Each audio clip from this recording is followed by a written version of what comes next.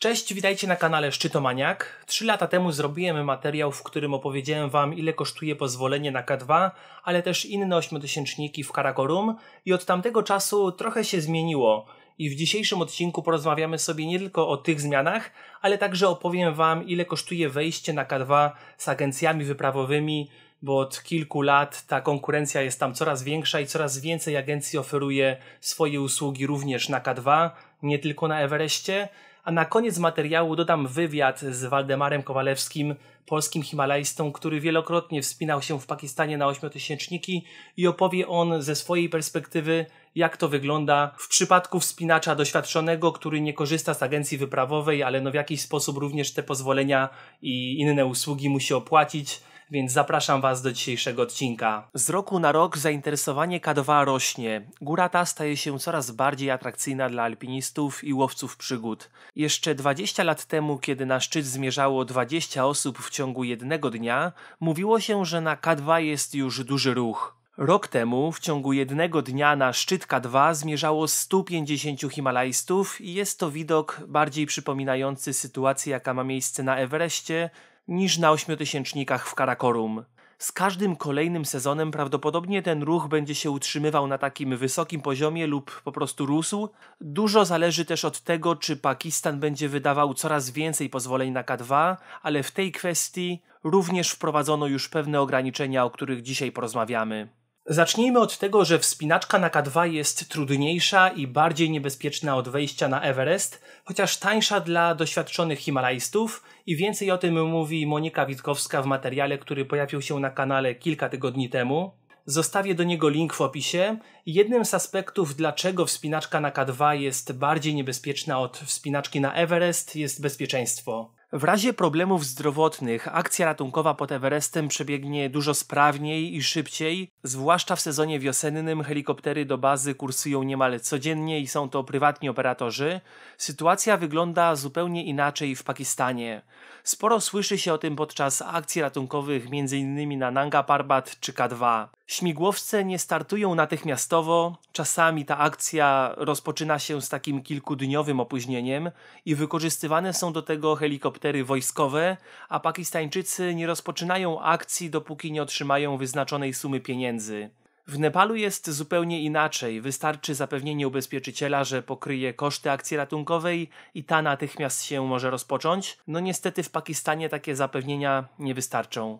Jak wygląda sprawa z cenami pozwoleń na szczyt K2, które często nazywane są również z angielskiego permitami? Tydzień temu powiedziałem Wam, że cena pozwolenia wejścia na Everest od strony Nepalu wzrośnie od przyszłego roku z 11 tysięcy dolarów na 15 tysięcy dolarów za jednego uczestnika. Na K2 pozwolenia były dużo tańsze i wynosiły 7200 dolarów dla grupy liczącej 7 osób plus dodatkowe 1200 dolarów za każdego dodatkowego uczestnika. Czyli jeśli jakiś Himalajista chciał samotnie wspinać się na K2, to nie płacił pozwolenia za całą grupę, tylko dopisywał się do innego zespołu i obowiązywała go cena za pozwolenie wynosząca 1200 dolarów, plus oczywiście opłata dla agencji.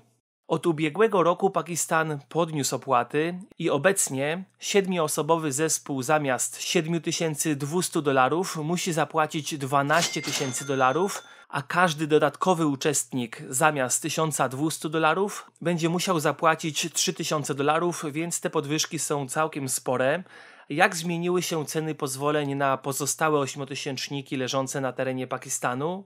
Jeszcze dwa lata temu siedmioosobowy zespół za pozwolenie na każdy ośmiotysięcznik z wyłączeniem K2 musiał zapłacić 5400 dolarów plus 900 dolarów za każdego dodatkowego członka zespołu i obecnie cena ta wzrosła do 9,5 tysiąca dolarów za zespół, a każdy dodatkowy uczestnik musi zapłacić 3000 dolarów, czyli tyle samo co na K2 czyli dla jednego ośmioosobowego zespołu cena ta wzrosła niemal o 100%. Kolejne zmiany wprowadzone przez rząd Nepalu były prawdopodobnie podyktowane tym, że agencje tworzyły coraz większe grupy i w zeszłym roku na K2 wspinała się m.in. ekspedycja, która liczyła aż 30 uczestników. Kiedy taka grupa jednocześnie zmierza na szczyt, siłą rzeczy tworzą się korki w tych najtrudniejszych miejscach, takich jak szyjka butelki. Rząd Pakistanu postanowił dodać ograniczenia na agencje wyprawowe i od roku wyprawy mogą liczyć maksymalnie 15 uczestników.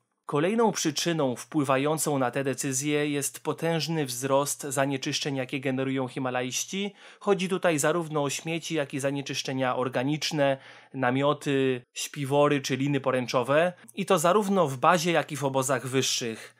Na zdjęciach, jakie dostałem od Moniki Witkowskiej, możecie zobaczyć, jak wyglądają niektóre stare, zniszczone obozy i jak wiele śmieci jest tam pozostawionych. Wyprawa na K2 z agencją słynnego Nepalczyka Nirmala Nimsa Purji Elite Expert kosztuje od 60 tysięcy dolarów w górę.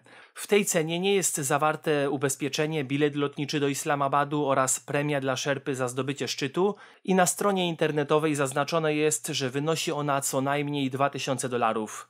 Do tego należy doliczyć także koszt wizy, opłaty za internet, telefon i jakieś takie prywatne wydatki czy dodatkowe noclegi.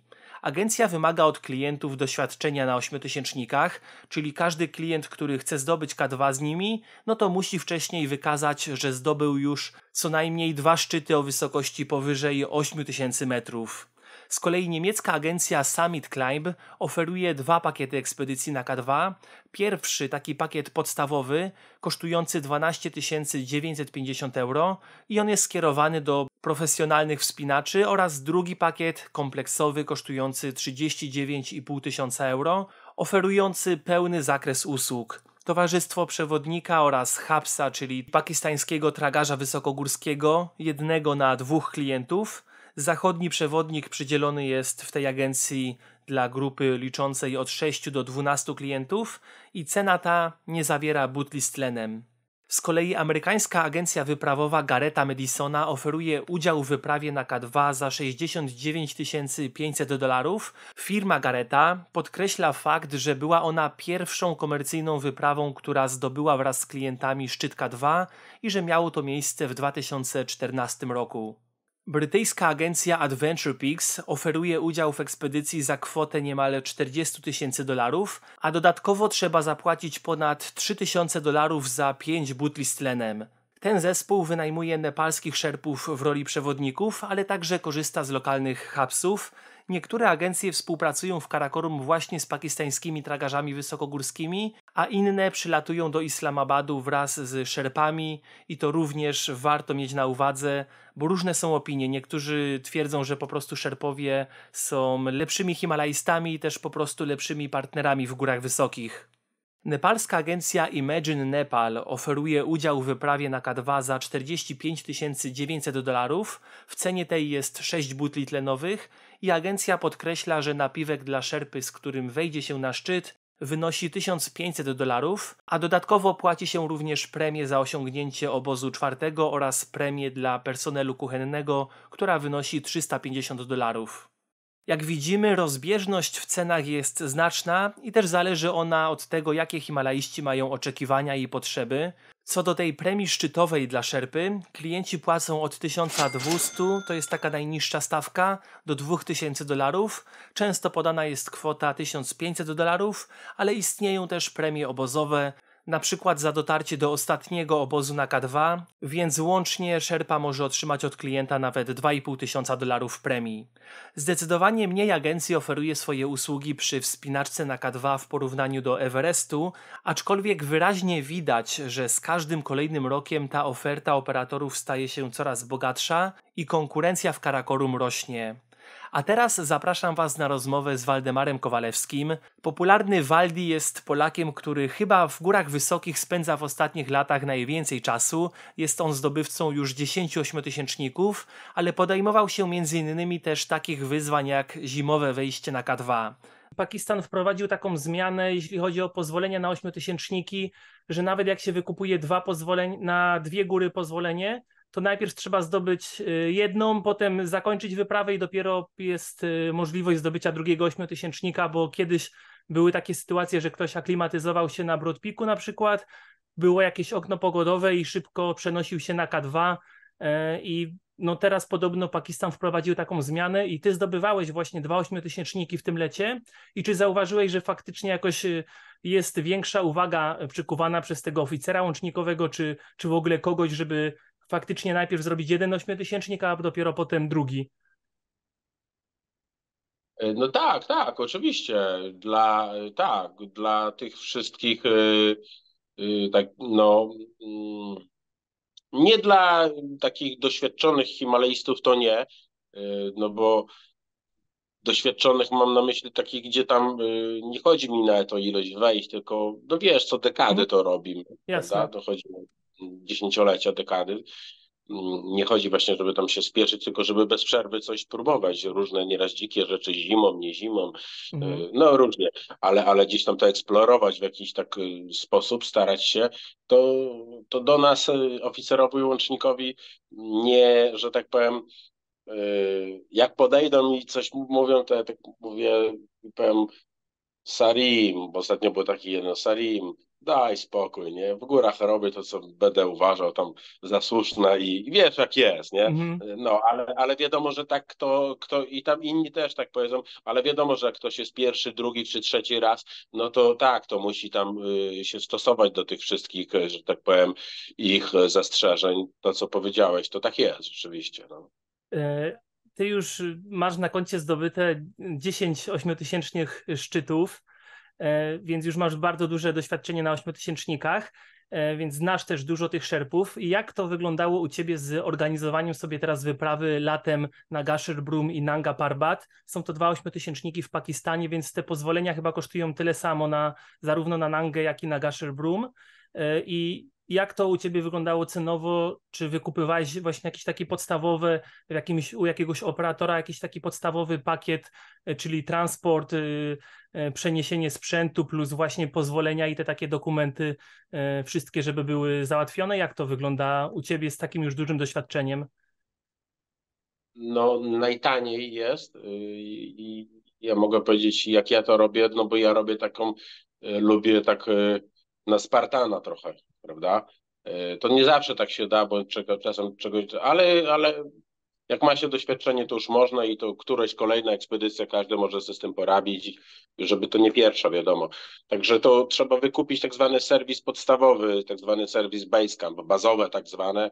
W tym jest permit, który stanowi tam dużą część, lwią część tej kwoty, którą się ogólnie płaci e, i oczywiście wtedy się idzie wszyscy na trekkingu, idziemy dochodzimy do tam po jakimś czasie, prawda, do bazy, e, no i, i, i, i tam żyjemy, tam jest nasz dom tymczasowy i, i, i mam tam jedzenie, mam, y, mogę tam żyć, jeść w namiocie kuchennym, posiłki gdzieś tam sobie przebywać. Czasem wieczorkiem mamy taki grzejniczek, to sobie go odpalimy, to wtedy ciepło w stopy y, i jest przyjemnie i tam się regeneruje. Za każdym razem jak wychodzę w akcję i wracam do bazy, to tam odpoczywam. No ale to jest tylko baza, tak? Nic mhm. powyżej bazy organizatora nie interesuje. W ogóle nic, prawda? Mhm. Wszystko e, działam po prostu sam. Mam cztery namioty wysokościowe, mam dużo lin, dużo takich piketów, czyli szabli śnieżnych, śrub śnieżnych. Mhm. E, przede wszystkim to, co używam, no, mało się tam używa takich, takich technicznych mocno, jak w Tatrach na przykład, y, wiesz, różnego rodzaju friendy. Nie, mhm. to, to, to, to, to tam to nie. Tam typowo dwóch praktycznie tylko y, urządzeń używamy z szerpami, zabezpieczając drogi, czyli takich długich 70-80 mm, centymetrowych kabli śnieżnych i śrub lodowych. I to wszystko. Czasem H gdzieś się wbije, ale to rzadkość. Okay. No i to wszystko trzeba robić już samemu. Muszę robić to razem z szerpami, ale ja zakładam z nimi, że tak powiem, tam częściowo po prostu drogę zawsze y, na jakimś odcinku, zazwyczaj w okolicy y, lubię między trze- drugim a trzecim obozem, tak jak ostatnio na Nanga Parbat, tam y, ostatnie, ostatnią linę, cały poziomy trawers to już sam poręczowałem y, i zabezpieczałem y, na 7000, tam na 6800. No i to, to no, muszę swoją robotę jakąś wykonać. Prawda? Czyli mam y, w tej cenie podstawowy serwis, to, to jest baza. Mhm. Baza dojście do bazy i życie w niej. Za każdym razem, bo ja do niej wiele razy wracam podczas, mhm. ja dużo się bardzo wspinam do bazy, tylko czasem wracam na odpoczynek, dwie noce się zdrzemnąć, dobrze pojeść, brzuch napaść, przyjemnie coś zobaczyć sobie na tablecie, czasem książkę przeczytać i dzida do góry po dwóch, trzech dniach znowuż.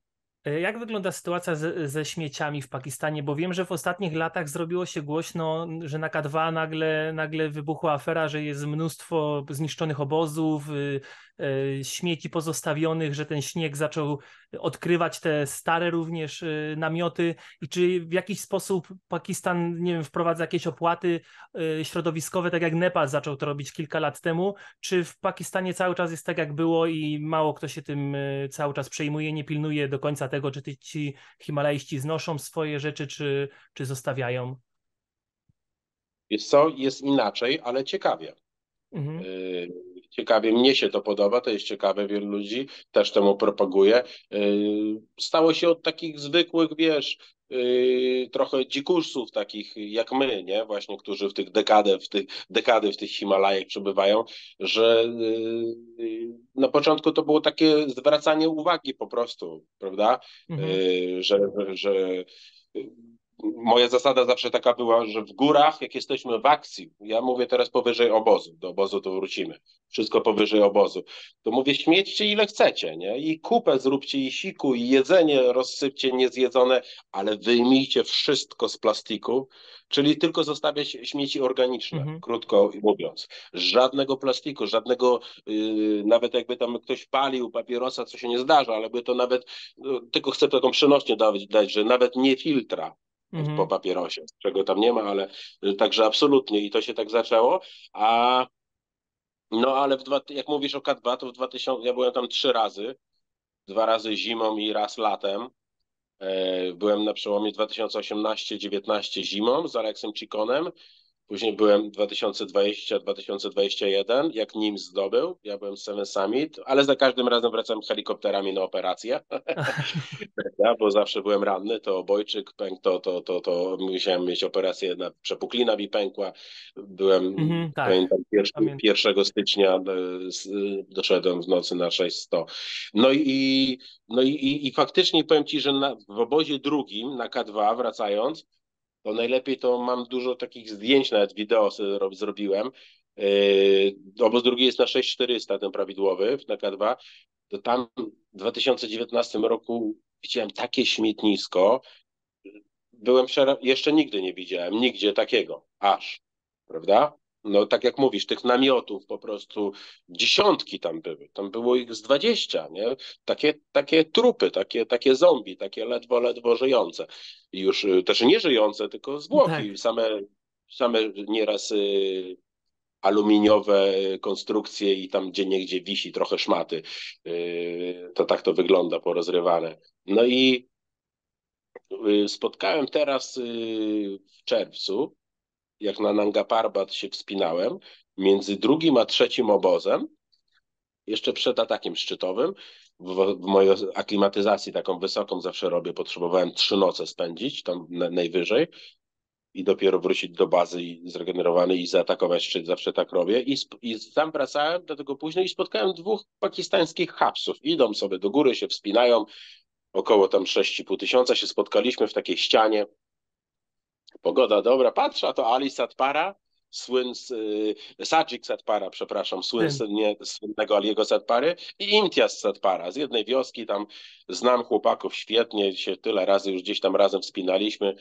I ja, ja mówię, gdzie chłopaki idziecie? No, że tam idziemy wynieść y, aklimatyzacyjnie, trochę coś tam wynieść, Pochwaliłem się im, że te 100 metrów tam zrobiłem ostatnie. Pochwalili mnie, zawsze lubię, jak mnie gdzieś tam poklepca, po, poklepią po klepach, po plecach, ale lokalsi, to, to, o to mi chodzi, to lubię, nie? To, to, czy tam w Nepalu Szerpowi, czy tutaj ci hapsi, to, to, to tak doceniam bardzo yy, i się cieszę, nie? Po prostu. Yy, no i, i rozmawiam z nimi, co robicie, no bo po Nanga Parba to nie mówią, no że na K2. A ja mówię, o, no to fajnie, bo Sadzik to jest już profesjonalistą na K2. Mm. My się razem wtedy zimą wspinaliśmy, co jego ojciec zginął w 2021. E, no i, no i Sadzik to już jest taki profesjonalista od K2, Imtiaz też. Sadzik był już chyba bodajże trzy razy, Imtiaz dwa. E, a oni mówią, że nie będą klientów, z klientami się wspinać. A ja mówię, to co będziecie robić? Będziemy clean K2, będziemy czyścić K2. I to było dla mnie takie zaskoczenie, duże. Mówię, no co ty, no, a no dobra, ale przecież o, to są ubodzy chłopacy, nie? Ja, mm -hmm. wiesz, byłem u nich tak. w wiosce w Satpara, często jeżdżę do wioski tam Satpara zawsze motorem po ekspedycji i tam jadę na herbatkę, tak na wizytę, nie? Po prostu tak fajnie, nie? Lubię tam zawsze u nich posiedzieć. Nieraz ich nie ma, no ale to tam jak takie, taką szkołę tam pomogę, jakieś zeszytów się kupi, wiesz, takich długopisów, nie? To najlepiej iść do sklepu i powiedzieć tam za 80-70 dolarów do sklepikarza, mówię, dawaj to co do szkoły, wszystko pakuj. To takie kartony tyle tego napakało, że ciężko nam było to na motorę wrzucić. Ale często tam jeździmy, bo ich chłopaki nie zawsze są, ale ich żony są, to nie znaczy, że te żony podrywamy. Absolutnie, że tak nie jest, bo one są bardzo wierne i w ogóle, ale nas ugaszczają po prostu tam, nie? W ten sposób, zawsze po ekspedycji. No i y, Sadzik i Imtiaz mówią właśnie, na tym Nanga Parbat, że na 6,5 tysiącach sobie rozmawiamy, tak usiedliśmy, odpiliśmy herbatkę, jak termosek wyjąłem, poczęstowałem chłopaków, bo dopiero co wcześniej zrobiłem, a z trójki wracałem, więc jeszcze nawet ani razu nie zdążyłem się napić, no to żeśmy sobie przysiedli, wypiliśmy, było przyjemnie. I mówią, że jadą czyścić K2, i że dostaną za to więcej pieniędzy niż jakby mieli klienta, który zdobyłby taka dwa i zapłacił im jeszcze bonus szczytowy, który jest wysoki, bo bonus, jak wiesz, to tam 2,5 tysiąca w tej chwili na K2 na przykład. E, także 2, e, 2,5.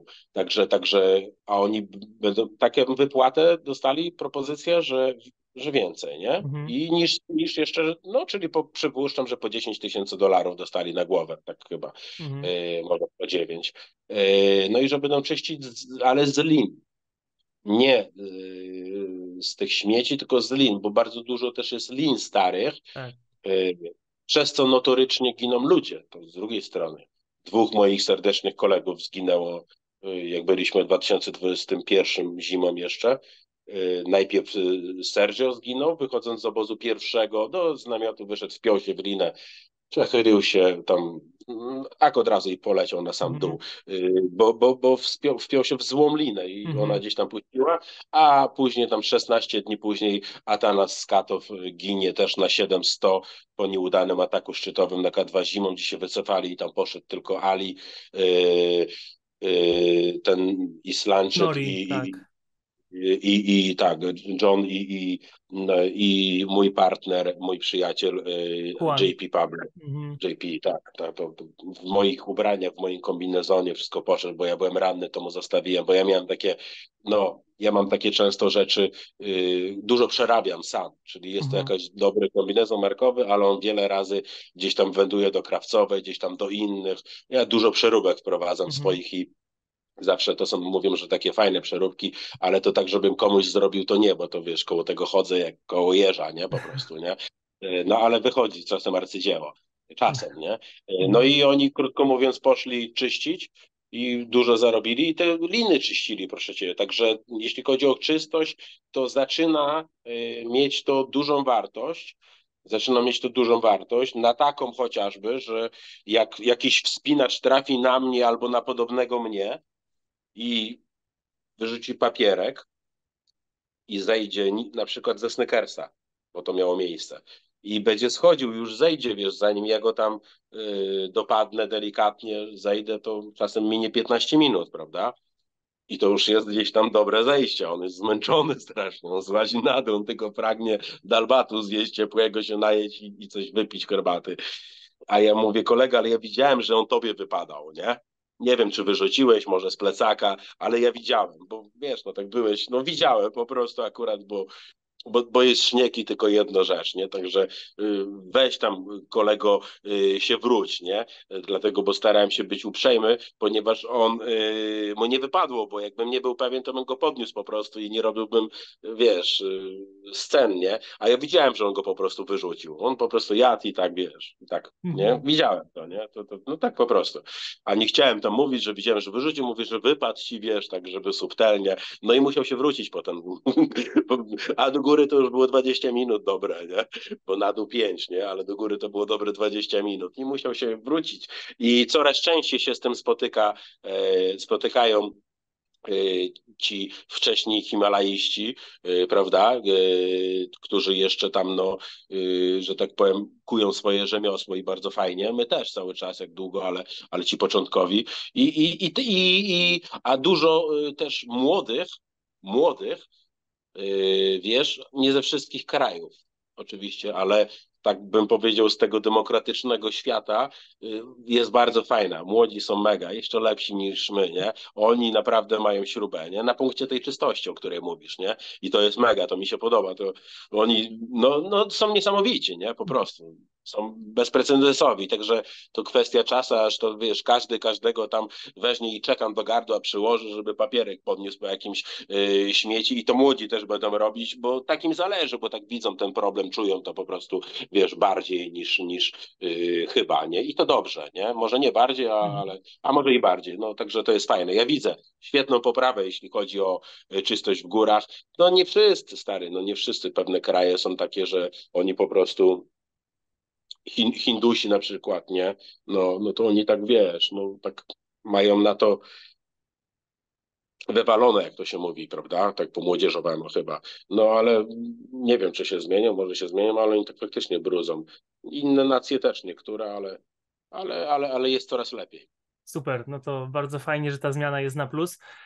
Wspomniałeś tak. o tym, że z K2 dwa razy y, wracałeś śmigłowcem i też y, chciałem poruszyć ten temat, bo sporo się mówi o tym, że w, pod Everestem y, też jest bezpieczniej pod tym kątem, że te akcje ratunkowe są dużo sprawniej przeprowadzane, te śmigłowce w sezonie praktycznie codziennie latają do bazy, a w Karakorum w Pakistanie jest to już dużo trudniejsze i też są sytuacje, że po prostu Pakistańczycy póki nie dostaną, że tak powiem, przelewu czy gotówki, to ten śmigłowiec w ogóle nie wystartuje. I czy możesz to potwierdzić, jak, jak to wygląda?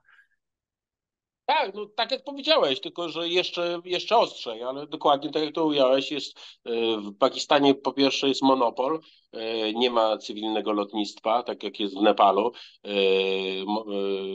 tam jest armia, wszystko trzyma. Jest tylko jedna firma były generałów, nazywa się Ashkari, były generałów i pułkowników. No, to jest taki, prawda? No tylko oni to mogą robić, mm. tylko ta jedna firma.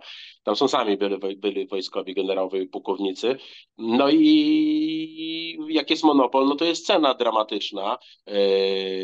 E, to jest pierwsze. Po drugie, prawo, które wprowadzili, które akurat jest ok ponieważ wiesz, kilkanaście lat temu jeszcze tam było, jeszcze Jurek Kukuczka jakby żył, to bo opowiedział pewnie y, za tych czasów to i później to były sytuacje, że rozumiesz, leciał helikopter i na przykład rebeliant y, jakiś tam młody, napalony wziął RPG, y, wyrzutnie konkretnie mówię te, te, te RPG, bo one tam szeroko dostępne i nawet podobno z wyrzutni RPG yy, i to wiem od znawców tematu, z którymi się wspinam, bo czasem szkole żołnierzy i to od takich naprawdę yy, z terenoznawstwa specjalistów w swojej dziedzinie, yy, także zawodowych, to mi opowiadają, że, że to trzeba...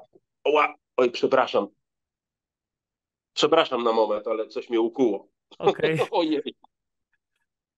Oj, i krótko mówiąc, jest w stanie z niedużej odległości niedoświadczony mm, przeciwnik, nawet młody, w wieku 16-17 lat, pierwszy raz mający do czynienia z bronią, jest w stanie tam y, ze 100 metrów czy ze 150 metrów z wyrzutnik RPG strącić stojącego ptaka e, na helibandzie, czyli na tymczasowym lotnisku kamiennym takim, e, robiąc to pierwszy raz.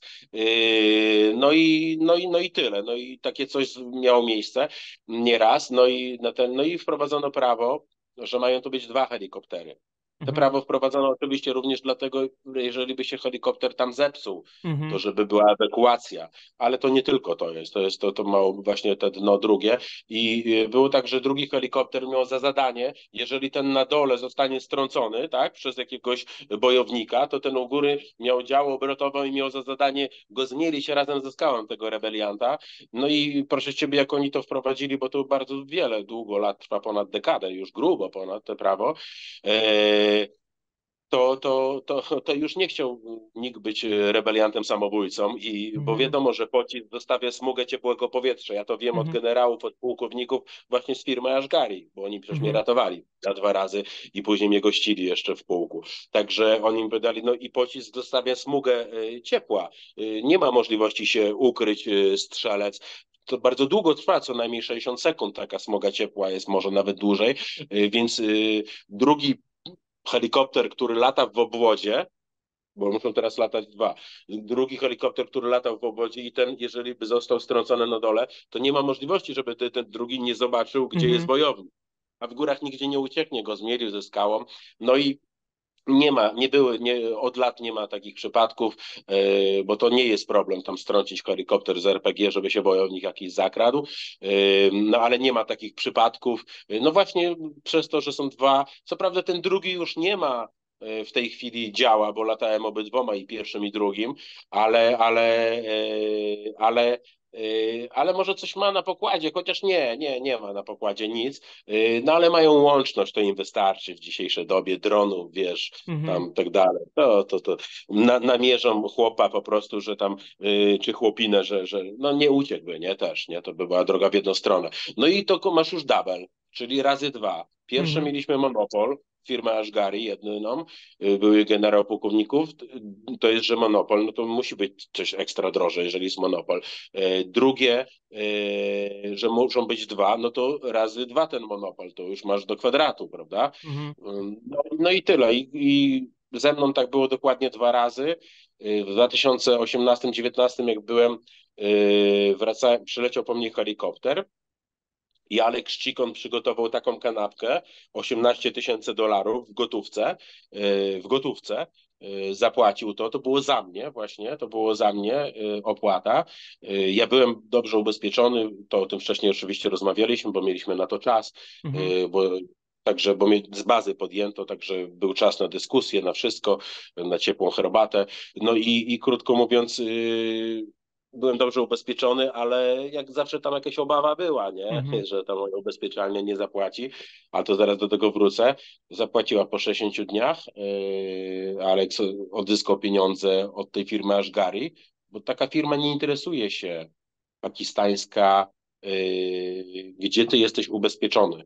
Mhm. Oni nie, im się nie chcą się szarpać, ścigać. Dla nich ma być żelazny cash, i jeżeli firma ubezpieczenia was zapłaci, a za mnie dwa razy to było, bo drugim razem mi ratowano w 2021, jak nim zdobył ten K2, tylko jeszcze przed zdobyciem, na początku stycznia, on 16 bodajże, czy 24 zdobył, 17, no mniejsza, mhm. pod koniec. W każdym razie yy, mnie na początku stycznia zabierał helikopter, bo mi 1 stycznia przepuklina, jak byłem samotnie na 600 pękła, taka mandarynka mi wyskoczyła i od brata chirurga się dowiedziałem, yy, mój młodszy brat jest doktorkiem, że umrę tam po prostu bo to, że, że, że w warunkach takich normalnych, że to nie ma problemu, w ogóle banalna operacja, bo gdzieś tam się to jelito wpycha, jak mhm. wypadnie przez tą błonę, ale w takich warunkach, gdzie ja miałem na zewnątrz minus 43, a w nawiesie, a w namiocie w środku miałem minus 41, bo badałem temperaturę wtedy, yy, w ten wieczór, 1 stycznia w nowy rok 2021, no to, no, to, no to tam nie ma możliwości nic z gołymi palcami zrobić i, i powiedzieć, że dostanę sepsy i na pewno umrę na 100%, żebym się stamtąd zawijał jak najszybciej po prostu yy, i tylko tyle do ciepła. Nawet już w bazie będę prawie bezpieczna w cywilizacji, to taka operacja, to on mówi jak, jak kawa, nie? Dla chirurga. Taka banalna po prostu, nie? W mhm. warunkach cywilizacyjnych, a tam grożąca śmiercią, ale taką na pewno w wyniku powikłań. Także y, musiałem też wracać, no i Dała przygotował szef Seven Summit, bo dla Seven Summit byłem 20 tysięcy dolarów. Taką grubą, tłustą kanapkę. 20 mhm. tysięcy mhm. dolarów, same setki. No i mieliśmy dyskusję z Dałą, ja mówię, dała, wiesz, tak się, boję się, krępuję się, bo nie jestem na tyle ranny, żeby nie zejść trekkingiem. Dam sobie radę, tylko nie mogę nic dźwigać, brat powiedział. Nic absolutnie. Trzeba mi dać jakiś tam, nie wiem, nie 170 tragarzy, jakąś Alibabę. Żartuję, ale no po prostu, żeby, żebym nic się nie męczył, nic nie, nawet swojego presaka miałem nie dźwigać, ale mówię spokojnie, ja sobie te cztery dni zejdę bo mam obawy, no bo tu taka duża kasa wchodzi w grę. Mówię, a co jeżeli moja ubezpieczalnia ci nie odda?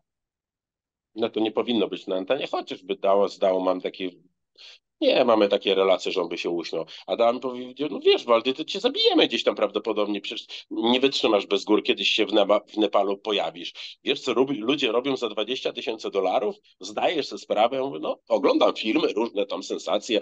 Mówi, no to odpowiedz sobie sam, nie? I miałem obawy, no ale oddali mu y, ubezpieczenie, w które byłem ubezpieczony. Y, no wiesz, nie mogłoby podważyć operacji, miałem wszystko, takie to było, wiesz, twarde, nie? Takie, tu w kraju już później, nie? Y, także, także od razu po przylocie, także oddali mu po 60 dniach. Ale tak jak powiedziałeś, yy, cash, cash, nie? To wszystko na dzisiaj. Jeśli ten materiał był dla Was interesujący, to będę wdzięczny za zostawienie łapki w górę, napisanie komentarza i widzimy się na szlaku oraz w kolejnym odcinku. Bardzo dziękuję Wam za obecność i oglądnięcie materiału do końca. Mam nadzieję, że wywiad z Waldemarem Wam się podobał, bo jest to naprawdę niesamowita postać. Ale nie przedłużając, kończymy. Do zobaczenia na szlaku i w kolejnym odcinku. Cześć!